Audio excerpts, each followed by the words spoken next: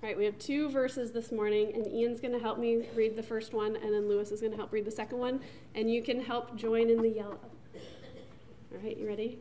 It's from Ephesians 4 31 to 5 2.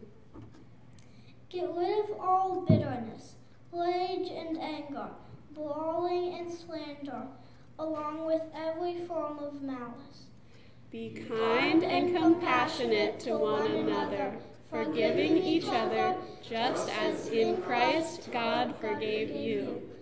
Follow God's example. Therefore, dearly love children and, and walk in the way of love, just as Christ loved us and gave himself up for us as a fragrant offering and sacrifice to God.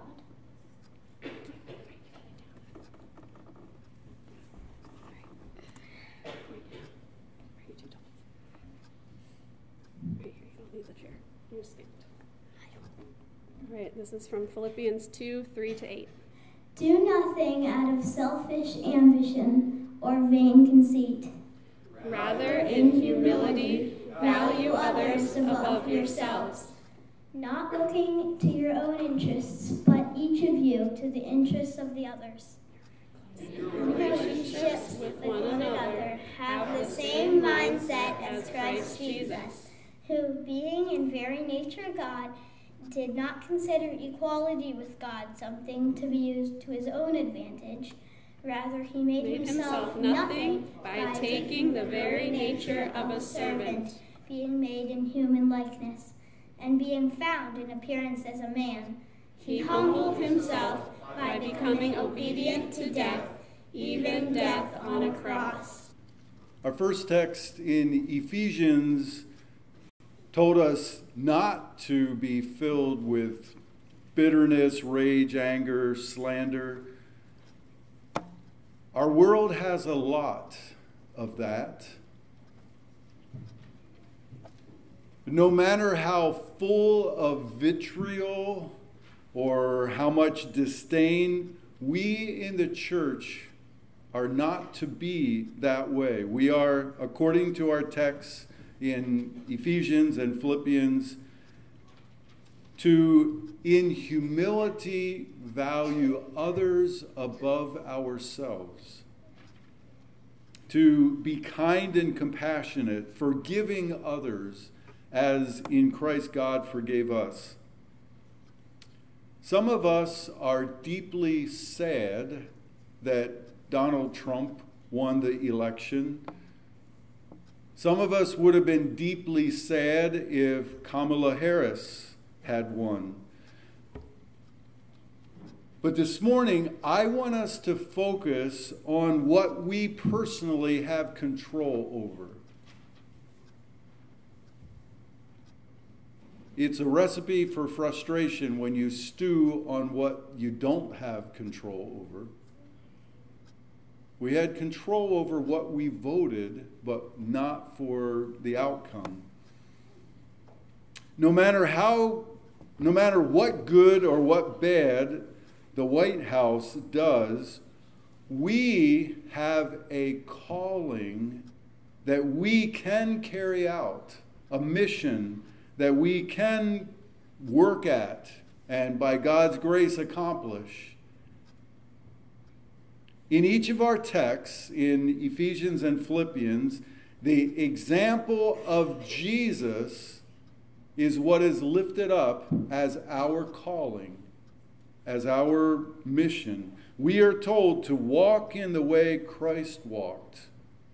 We are told to have the same mindset that Jesus had. This morning, we're going to look at at what the apostles had in mind when they told us to walk as Christ walked, to have the same mindset. We speak of ourselves as followers of Christ. We are Christians. Well, what does that mean? What are we to do as we follow Jesus? What behavior do the apostles specify when they talk about us following Jesus. They don't talk about us wearing sandals like Jesus probably, surely did. They don't talk about us wearing a robe like he would have. They don't point to him not getting married. They don't point to him not owning a house. They don't even talk about us praying like Jesus did or loving sinners like Jesus did. But they do specify something that they have in mind that we are to do as we follow Jesus. Four different places in the New Testament, the, the attitude, the actions of Jesus that we are to follow are specified. And each time they point to one thing, the same thing, four different places. Here's what they specify sacrificial love for others, love that sacrifices oneself for another. Here's our text again, the end of Ephesians 4, the beginning of chapter 5. Walk in the way of love, just as Christ loved us and gave himself up for us. That's the NIV, the New Living Translation, loved us and offered himself as a sacrifice for us. Jesus did that, and we are to do it too. It will not be a sacrifice for atonement, but it will be us giving of ourself, of our very life. In the beginning of, of chapter 2 of Ephesians, not looking to your own interests, but each of you to the interests of others. Have the same mindset as Christ Jesus, who made himself nothing, the ESV, who emptied himself. He made the decision not to hold on to the prerogatives or the advantages that he had but to be willing to let it go for others. So he, he came to this earth, he took the position of a servant. He humbled himself by becoming obedient to death. Ephesians 2 says, even death on the cross, the most the lowest, most horrible position that anyone, you could make a case for that anyone in history had ever taken. I said there's four texts. Uh, here's one of the other texts uh, 1 Peter 2, verse 21 Christ suffered for you, leaving you an example that you should follow in his steps. And we'll look at the fourth uh, passage in a bit.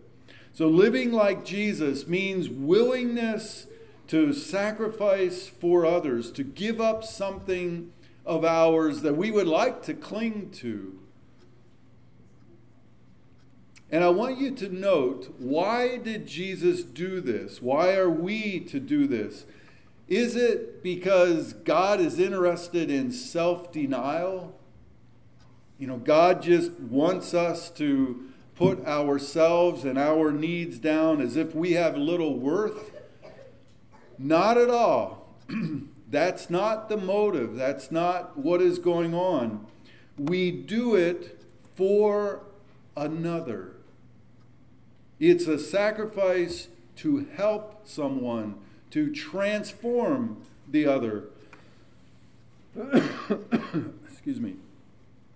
Ephesians chapter 5, verse 2 Christ loved us and gave himself up for us. Philippians chapter 2, not looking to your own interests, but each of you to the interests of others.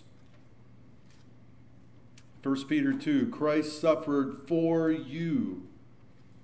We accept a loss, we make that sacrifice because we see the great good that can come from it. There's joy in it because our act is a creative, a generous, a, a positive act in what it brings to others. This is our mission. This is our highest call.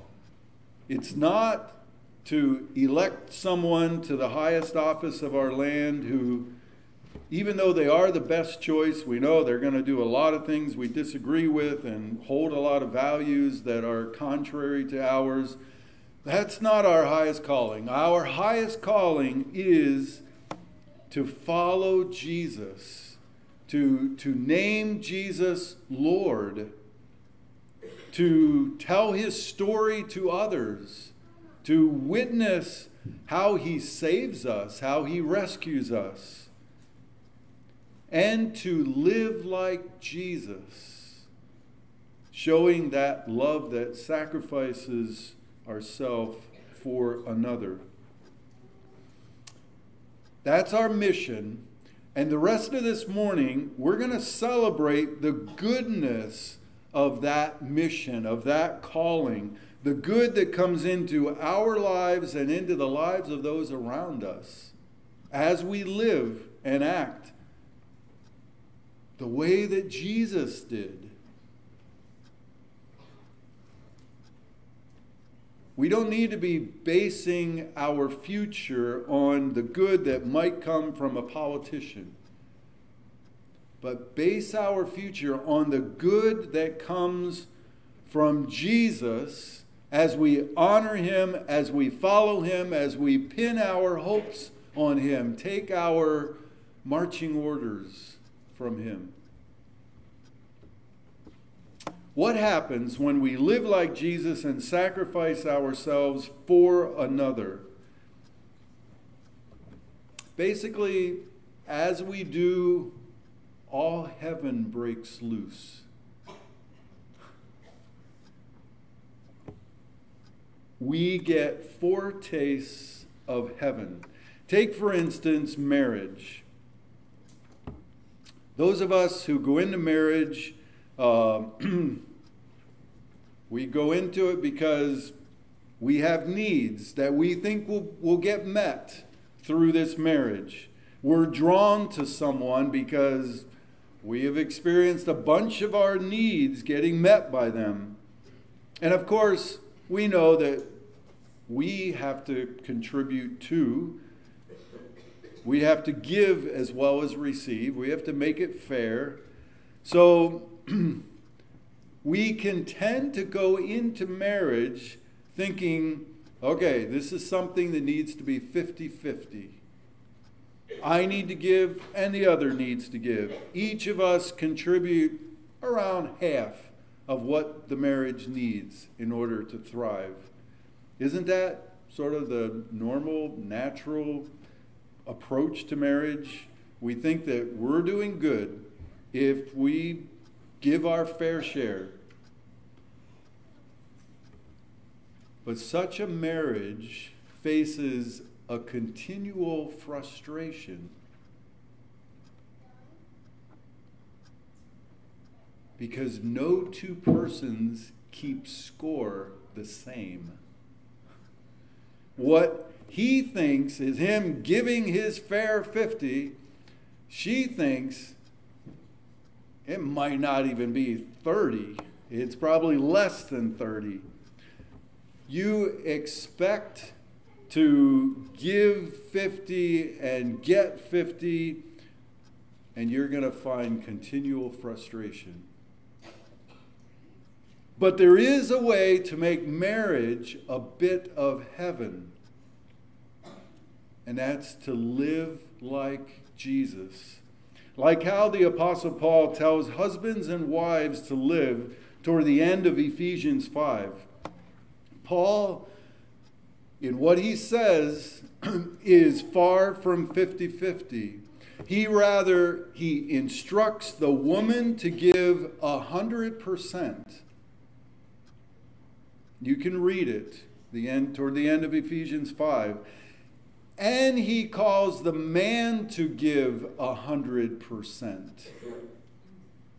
I'm going to read this verse because this is that fourth passage that specifies what we are to do as we follow Jesus.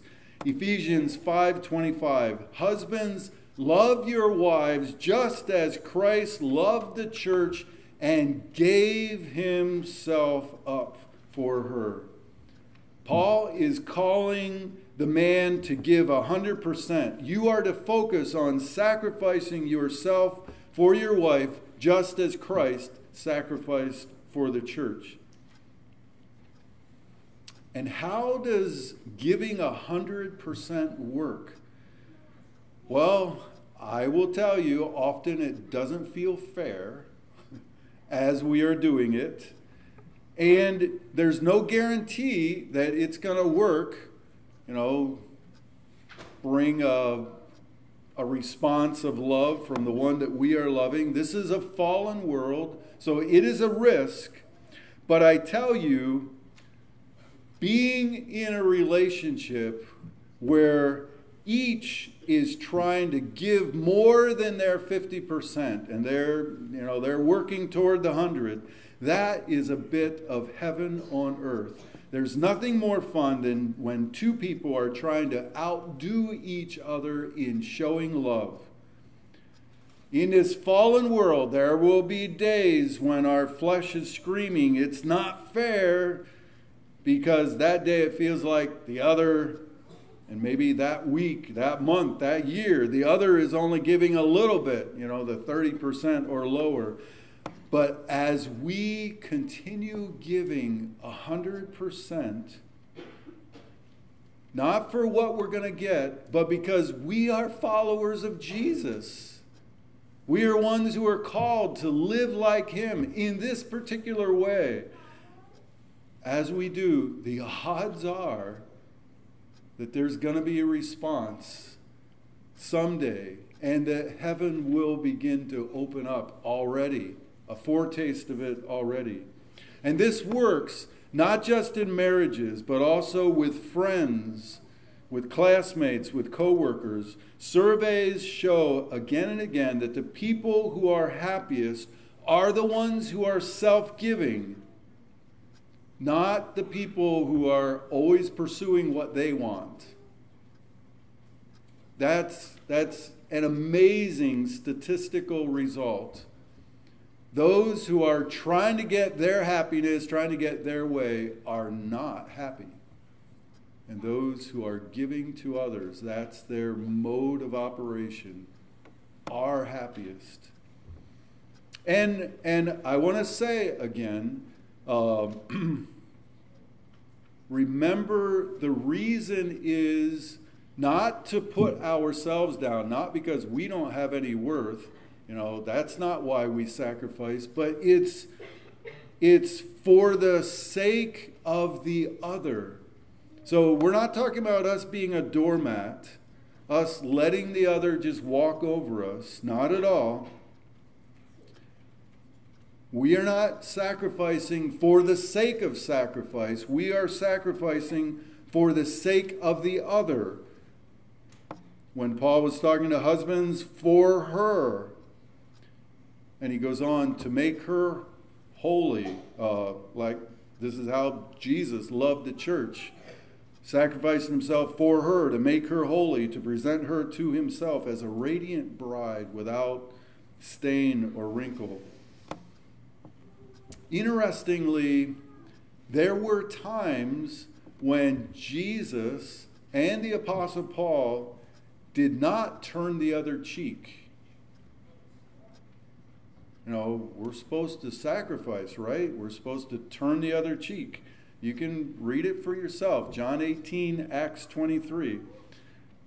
There were times when Jesus confronted persons rather than yielding, rather than sacrificing, you know, what he felt. But until we are willing to sacrifice, we will not be able to accurately discern what will help another. Until we are willing to sacrifice ourselves, we will not let ourselves really see when that is something that can transform, do marvelous good in the other person.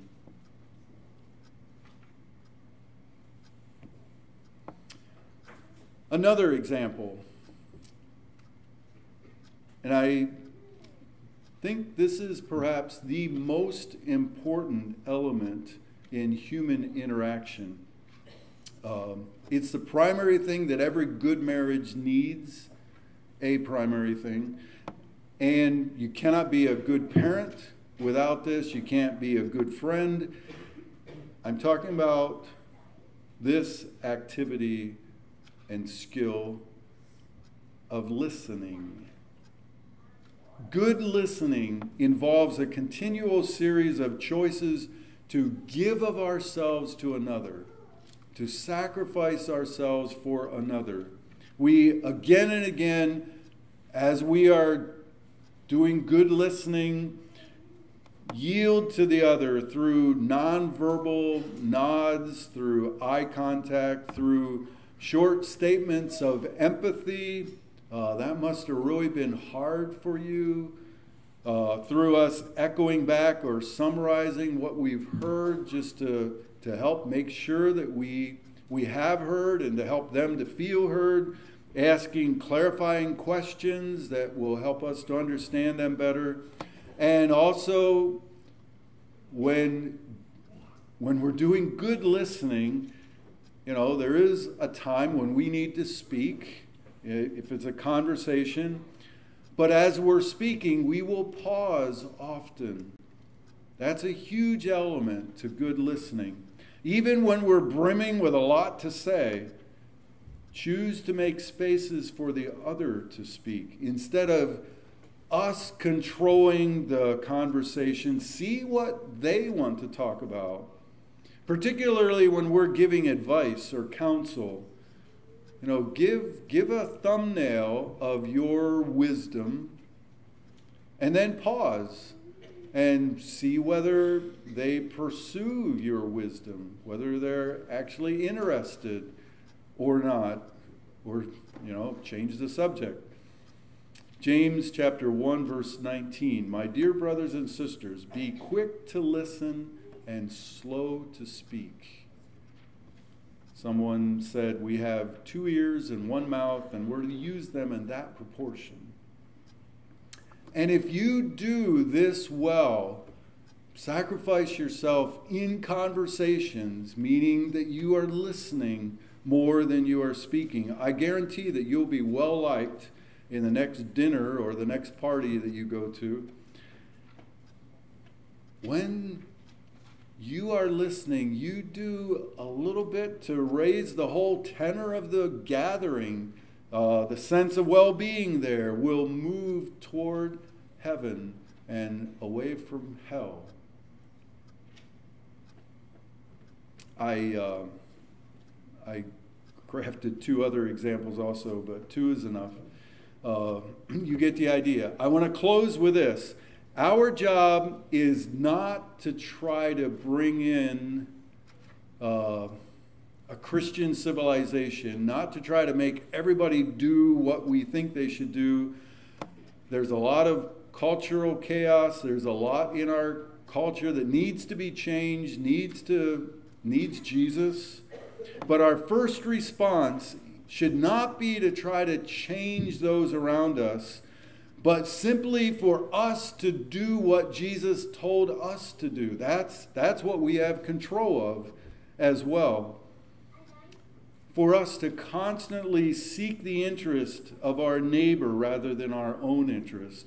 And as we focus on loving sacrificially and humbly, out of that love, out of that obedience, will grow things like hospitals and universities, and, and we will move toward a more civilization the way that God wants it to be.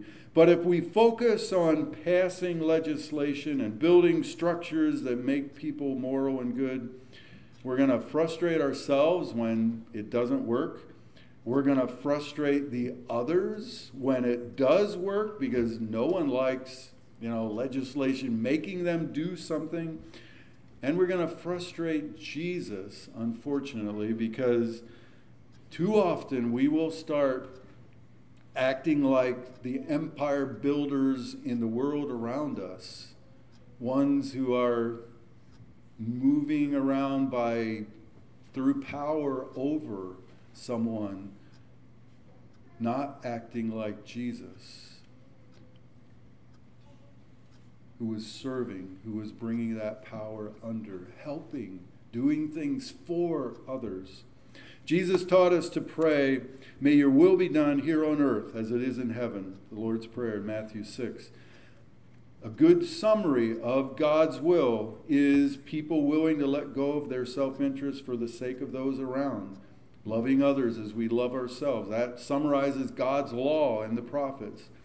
And not only does Jesus tell us to pray for that, but the Bible ends with a vision of that will being done on earth, a vision of heaven coming to earth. He showed me, this is Revelation 21:10, the holy city Jerusalem coming down out of heaven from God. He says, "The glory of God gives it light, and the lamb is its lamp, and the nations will walk by its light." Verses 23 and 24. And then the next chapter, verse 2 in the middle of the city stood the tree of life, and the leaves of that tree are for the healing of the nations. Let's, let's feast on imagining what it will be like to have a life where Jesus has returned, Jesus is Lord, and everyone is acknowledging that and conversations are full of people living like Jesus, mutual, self giving love, marriages likewise, and especially feast on the vision of nations walking by the Lamb of God's light. Hallelujah. Let's pray. Father, self sacrifice is never easy by definition, but may this vision of what you want to bring about, and, and as we see what your sacrifice did bring about, may that vision fuel us in this hard work of, of self sacrifice. May our life together here in this church be a sign, be a foretaste of the life that you are going to bring when you come again. May it, may it draw people to you, make them hungry and thirsty for the life that is only found in you. Thank you also that, that before you call us to to show sacrificial love, you, you show us such love. You let us first experience your love. We love because you first loved us. And we rejoice. And we do serve you because you are our Lord and our Savior. And we bring this prayer, this heart cry to you, because you invite us to come to you in the name of Jesus, our Lord and our Savior. Amen.